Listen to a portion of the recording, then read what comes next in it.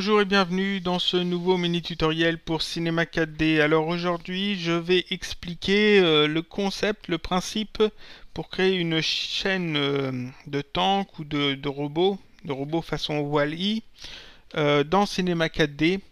Alors on va pas aller dans les détails, on va, juste voir comment ça marche, le principe, comment faire ça facilement et puis comment on peut ensuite l'animer si on a envie. Donc on va faire une, chenille donc qui, tourne autour de, trois roues. Euh, donc on va, on va commencer par faire les roues. Alors j'ai besoin de trois roues. Je vais prendre donc euh, des cylindres, c'est ce qui est le plus proche. En Z, voilà. On va les réduire un petit peu comme ça. Euh, segment d'auteur, je vais en mettre un quand même. Couvercle, pas de biseau, mais je vais rajouter des segments. Voilà. Donc, alors je vais pas dans les détails. Hein. Euh, roue. Je passe ici en vue avant. Je vais placer ma roue euh, sur, le, sur la, ligne, euh, la ligne rouge, sur le sol. Alors j'utilise le petit plugin que j'ai expliqué déjà dans un autre tutoriel, qui permet de le placer directement sur la, ligne d'horizon, sur la, ligne de base. C'est parfait. Donc euh, ça, je vais le dupliquer deux fois. Donc euh, CTRL, clic et déplacer vers le bas pour en avoir un double. Et encore une fois, pour en avoir encore un autre que je vais mettre à peu près ici. Donc là, j'ai trois roues. Euh, cette roue-là, la première, je vais faire un petit peu plus grande. Alors, je vais bien la repositionner et celle-là un petit peu plus haut. Celle-là un petit peu plus en avant, c'est mieux. Donc là, c'est pas mal, j'ai mes trois roues de base. Euh, pour faire donc la chenille, la chenille c'est un ensemble de, chaînons qui vont donc faire euh, le, tour de ces trois roues. Alors comment on peut faire ça? On peut faire ça en utilisant un objet cloneur et une spline comme trajectoire. Donc la première chose que je vais faire maintenant, c'est faire une spline. Alors je vais grouper mes trois roues pour pas qu'ils me, gênent. Grouper les objets, voilà. Je vais ici dans les outils de spline et je prends linéaire. Donc, et je commence ma spline. Alors, on y va à main levée comme ça. Ici, alors je place juste mes points en fait, assez proche euh, des roues. Voilà. Je place mes points un peu où je veux, de manière à faire bien le tour euh, des roues. Ici, ensuite, je redescends jusqu'en bas. Alors, j'aurais pu utiliser euh, une courbe de Bézier ou une B-spline. Je préfère utiliser une linéaire parce que c'est plus rapide. Donc là, j'ai fermé ma boucle. Voilà. Je, donc, je sélectionne ma spline, je passe en mode point. Je fais la touche V pour avoir le menu contextuel. Je vais dans modifier la spline et je fais interpolation légère. Ah oui, euh, d'abord il faut sélectionner les points. V, modifier la spline, interpolation légère. Voilà. Et là, euh, Cinema 4D m'a arrondi tous les points. Alors, euh, je vais retoucher un petit peu de manière à ce que ça fasse quand même assez propre.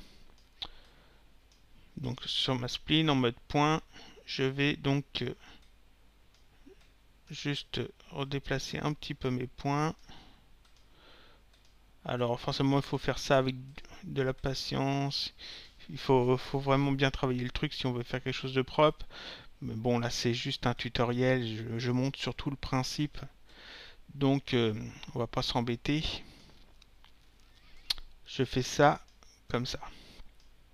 Là, cette roue là, c'est ce point-là qui est un petit peu trop décalé.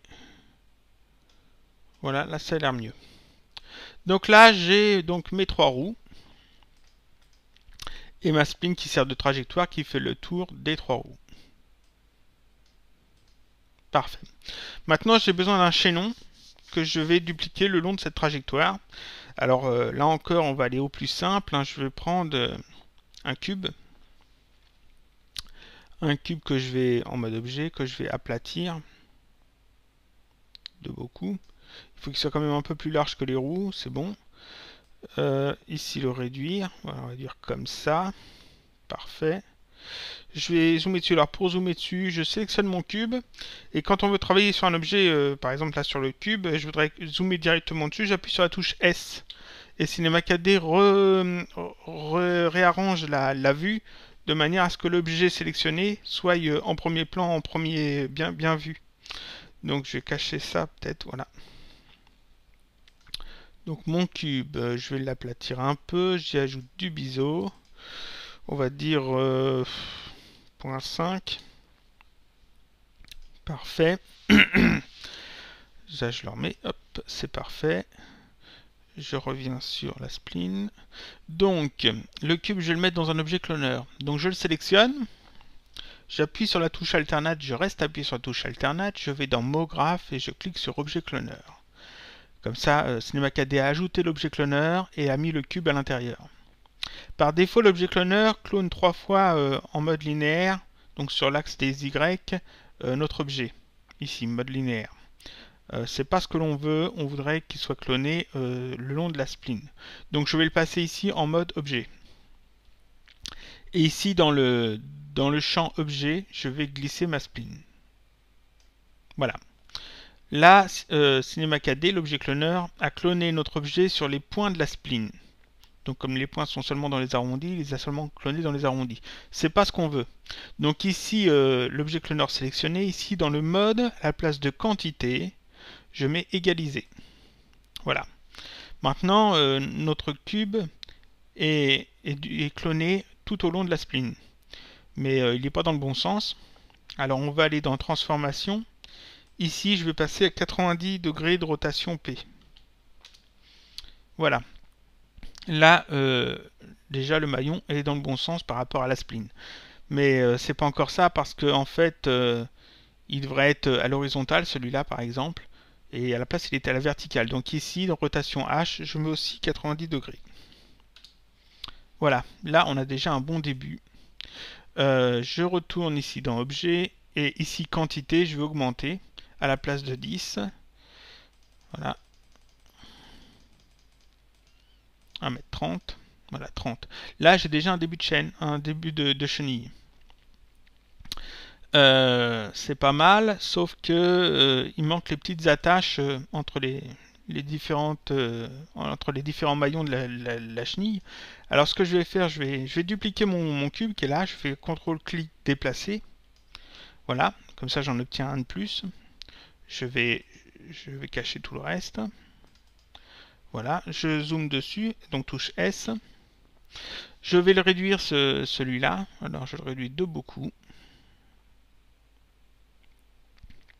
On va faire comme ça, un petit peu comme ça aussi petit peu comme ça.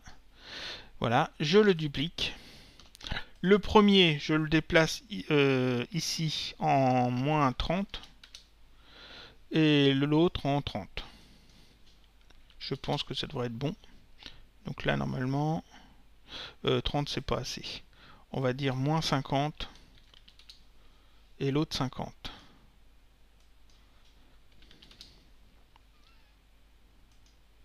C'est mieux. Donc ces deux nouveaux cubes, je vais les grouper, grouper les objets. Et cet objet neutre, que je vais appeler euh, attache, je vais le déplacer dans l'objet cloneur. Voilà, je réactive mon objet cloneur. On fait un petit zoom en arrière sur la spline. Là, on voit que l'objet cloneur euh, clone donc l'attache et le cube en les alternant l'un l'autre. Euh, je vais tout simplement augmenter la quantité afin de la rapprocher. Voilà. Là, c'est déjà pas mal. Là, on a un truc qui est bien. Alors, encore un peu. De manière à éviter les petits problèmes.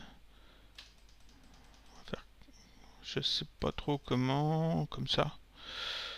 C'est peut-être pas mal comme ça.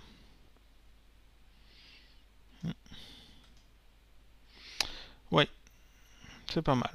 Donc euh, voilà, alors là j'ai ma chenille de fait, je raffiche les roues. Et alors maintenant comment on peut animer ça? En fait on voudrait que la, chenille tourne. Et eh ben je vais dans l'objet cloneur Et ici, euh, j'ai euh, la valeur décalage qui est à 0%. Si je l'augmente, on peut remarquer que les chenilles tournent, la chenille tourne. Donc, euh, comme il y a un petit point ici, on peut animer ça avec deux clés. Et donc faire tourner la chenille dans un sens ou dans l'autre. En, déplaçant juste le, pourcentage du décalage. Alors ça peut aller beaucoup plus que, 100%. Hein. Si on veut mettre 500%, on peut. Hein. Euh, pareil qu'on peut mettre moins 500%. Moins, bon, 500, moins 50. Euh, donc voilà. Voilà comment on peut faire donc une chenille de, de tank ou de robot assez rapidement, assez facilement dans Cinema 4D. Euh, voilà, c'était un mini tutoriel. Je vous dis à bientôt pour un prochain mini tutoriel sur Cinema 4D.